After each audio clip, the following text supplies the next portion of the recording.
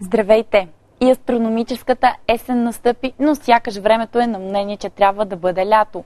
Днес най-топло ще бъде в Видин, Сандански и Петрич, където температурите достигат до 30-31 градуса.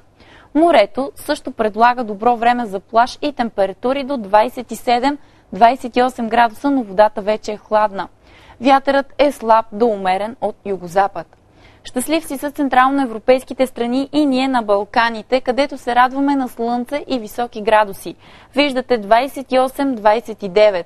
Далеч по-лошо време има над Западна и Североизточна Европа, където най-необходимият аксесуар е чадъра. През следващите дни у нас няма да ви се налага да се прибирате сандалите, тъй като ни очаква слънце, слънце и пак слънце до края на седмицата. И утре ще се радваме на високи градуси от 27 до 32. В сряда и в четвъртък на места ще има разкъсана облачност, но бързо ще намалява до слънчево време. Топло ще бъде и в петък с температури до 25-30 градуса. Такова ще бъде времето. Успешен следобед!